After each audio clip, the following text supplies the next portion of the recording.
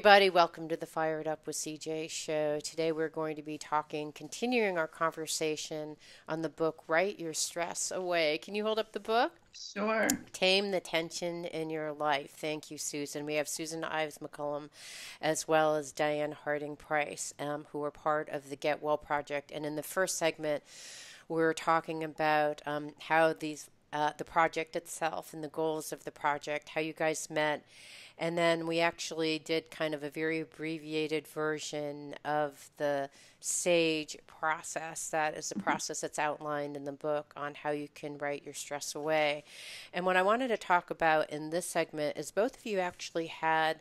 Um, physical ailments um, that you actually were able to um, get benefit from writing during this process. So I was wondering if each of you could share kind of what happened um, and then also the research that you found about writing and stress. Sure, sure. So back in 19, so I've been a writer my whole life. And in the book, I talk a little bit about probably being five or six years old and writing on a little, in writing on a little scrap of paper some emotion I felt um, and hid it in my little pink suitcase in the closet. So, Ugh. writing with and expressing emotion as a form of disclosure, which research really supports, has o- had always been a part of my life. So, fast forward to being on a business trip, and um, I just had um, a sense, an intuitive sense that something wasn't right and um, discovered a breast lump. Hmm. And through my writing, um, just got in touch with something isn't right and um, began the medical process with physicians. And to make a very long story short, the was referred to a surgeon who said, you know, we just this isn't typical. Let's just wait six months. Wow. And, yeah, and do another test. You know, we'll have another mammogram because you just had a mammogram, and let's have another mammogram in six months. And through my writing, I just was really in touch with my intuition and what I was feeling. Um, the writing, and essentially, I was writing my story and also writing what does somebody else think because i was all caught up in how do i how do i navigate through this complex uh, situation. And through that writing, I became very assertive, very uh, much a self advocate, and said to the doctor, um, I need a biopsy. I have to have a biopsy. And the response was, mm, You don't really need a biopsy. Let's wait six months. And so we negotiated that I would go forward with the biopsy and do it under uh, local anesthesia because his concern was that um, the risk of, of it being malignant was less than the risk of the anesthesia. So, lo and behold, it was a malignancy. And um, I then subsequently went through surgery, chemotherapy, et cetera, et cetera, et cetera. Wow. And so I really attribute to the writing. And at one point, uh, a physician said to me, you know, the fact that you wrote and really listen to yourself, listen to your body, listen to your mind and spirit. And um, that gave me the clarity and the confidence in knowing what I needed to do. That that writing really saved my life. Wow. In that way.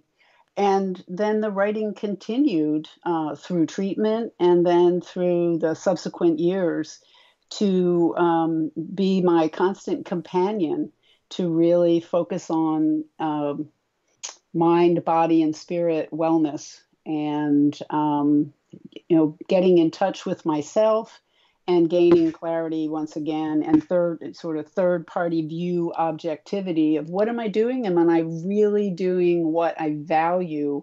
in terms of taking care of my life and being the healthiest, happiest uh, person I can be. Hmm.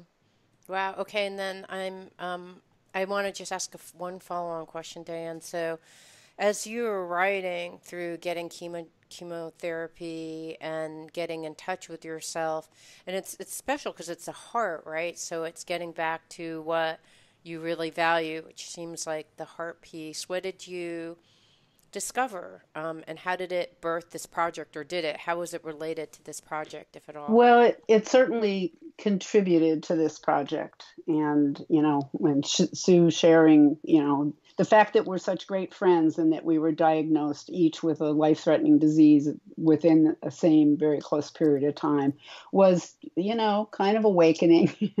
Yeah. But back to your question about heart um, you know, it really, I, it, the, the writing and the, through the experience confirmed my commitment to life, uh, confirmed my commitment to what I wanted to be and how I wanted to give back to others. I've always cared about giving back to others and making a difference in the world, but we can get so caught up in the busyness of life. And, you know, I was a consultant flying around on airplanes and doing all kinds of uh, very driven, you know, stereotypical type A kinds of things. And, and the writing really helped me um, to really get centered on and, and in touch with my heart and what really, really mattered so that you can shed all those scales of stuff that clings and keeps us from being the person and doing what really matters to us in the world. Mm. So, um, hopefully I answered your question. You did. Um, thank you. No, it really it, it does. Thank you, Susan. Tell me a little bit about so. Wow, unbelievable that both of you had life-threatening illnesses within that short. And so, tell me about what what was going on with you. Sure. Um, yes, it, it is quite a coincidence, but I was diagnosed with uh, type 1 diabetes at the same time um, that Diane had her breast cancer. And um, it came out of nowhere, uh, didn't run in my family, and was just really quite a surprise. Um, I started off uh, just feeling overwhelmed by that diagnosis because it meant so many lifestyle changes. Uh, I had to be careful to watch my diet. Um, I had to exercise, um, you know, take in good nutrition, um, watch my stress in particular, because that drives the blood sugar up. And through that process, I wanted to also be sure that I would that this story of being of being diabetic, of having diabetes, would not rule my life. It was really important to me that the diabetes be, you know, I'm, I'm going to equate it to one storyline of my life, but that there's so much more to me than the diabetes. And so the writing helped me not only manage it and stay true to um, the program that I knew I had to be on if I was going to be healthy, but also confirmed for me that I could do other things, that this could, I could, in some ways, pigeonhole it, even though it's with me 24 7. It's just a piece of my life, it's not my whole life. So that's how the writing helped me. Mm it's it's really interesting how over time we don't realize that we're even doing it, but that you were very conscious. Like I don't want this to define me. So what were the things that you wanted to define you, if not the okay. being a di- diabetes patient? Well, I wanted to um, go into counseling, which is what I did. I went back to school and got my master's degree. Um, I did quite a bit of traveling. I had the opportunity to go to um, Malawi, Africa, mm. and work with women and writing uh, there. Um, I have a son who lives um, far, far away um, in other parts of the world, and I wanted to be able to participate in his life and be with his children and meet my grandchildren. And so travel became a, a big part of it. Mm. And um, it it helped me balance my life more so than just focusing on the diabetes. When when did this happen? I know when what how old were you when this happened if you don't mind me asking just for both of you I'm sure. curious. I was in my I was 50. Okay. And I was in my late 40s. Okay. Yeah, I think I, am just curious because I'm someone who's in my mid 50s now and I think that it's during these times that you're like wait, what really matters to me. And um, the wake up call can come in many different forms, but it's interesting that kind of late 40s, you know, early 50s, kind of this sort of wake up call. um, came to you. Um, you know, it's um, it, it's hard to think of a disease as being a blessing in your yeah, life. Yeah. But um, I do think that because of the diabetes, I'm healthier today than I might have been.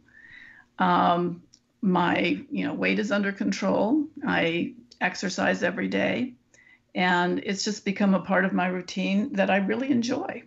Yeah. So um, I think that those that if you can find the hidden blessings in the challenges that you face in life, then you can get through them. Yeah. That's yeah, important. I, yeah, I have to say the same thing. I, I used to describe it as the breast cancer diagnosis was a karate chop to the back of the neck, and that it really got me in touch with what mattered. And you're absolutely right. You're sort of midlife, you know, and um, that combined with the writing really you're no longer invincible you know when you're younger it's like you're invincible you're going to live forever right. and you know and um, and i think the the writing helps you to really connect with what matters and stay focused. Mm, love it. Okay very, we... very centering um, centering tool. Yeah I like it. So we've been talking to um, Susan Hartingh Price and Susan, sorry, Diane Hartingh Price and Susan Ives McCollum about their book, Write Your Stress Away, um, Tame the Tensions in Your Life. And um, thank you so much. And in the next section, I want to talk about some of the research that you found about stress and then how it relates to um, some of the mental and emotional stress and how you can use writing for that. So thank you so much. Thank you. It means so much to me that you're listening to the show and would love your support in any way by giving me comments below or to subscribe to the show or share the show with friends. Thank you again for your support. Love and blessings.